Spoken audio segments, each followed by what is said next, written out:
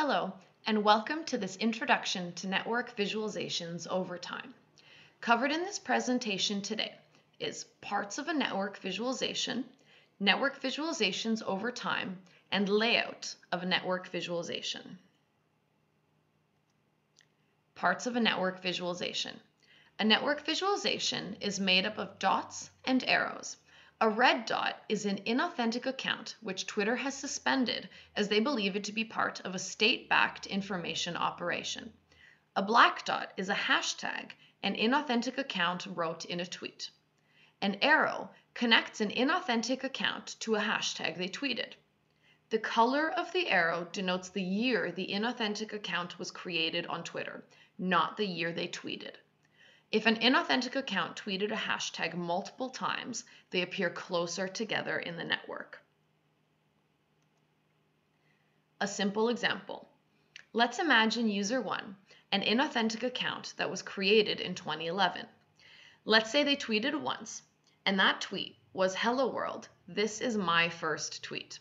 The resulting network visualization is seen above.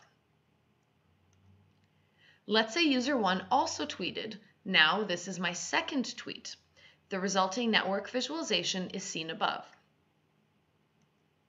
Now, user 2, created in 2016 and so colored differently, has tweeted, read my second tweet, everyone.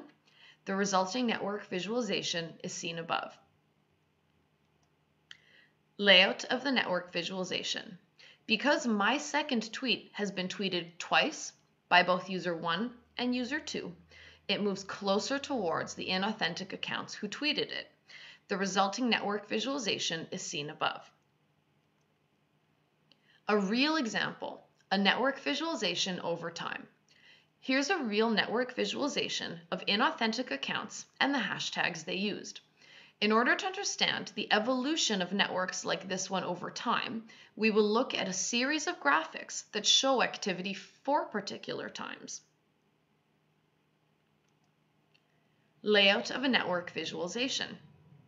The accounts and the hashtags are laid out according to their relationships over multiple years. The lines change according to hashtag use at a particular time and display how the network evolves. But the positions of the black and red dots remain constant. They don't move. Here we see connections across the network for a busy two-month period.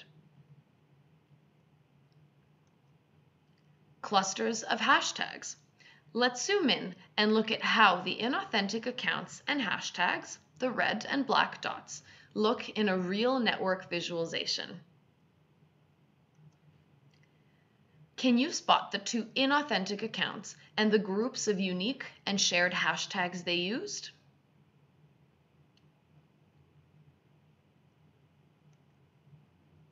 The red dots are inauthentic accounts the clusters of black dots are hashtags they used in tweets.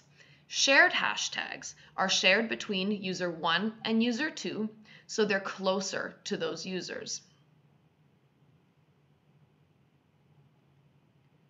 A real example, activity at a particular time. Here again is a two-month period in a network visualization. Now, let's understand which regions are active and inactive during this period. Inactive shows inauthentic accounts who were not tweeting using hashtags during this time period. No colored lines indicates no tweeting during this time period. Active shows inauthentic accounts who were tweeting using hashtags during this time period. The colored lines indicate tweeting during the time period. Evolution of a network visualization. When we look at the way the network evolves over time, we can see changes in hashtag use by the locations of the colored lines. Thank you.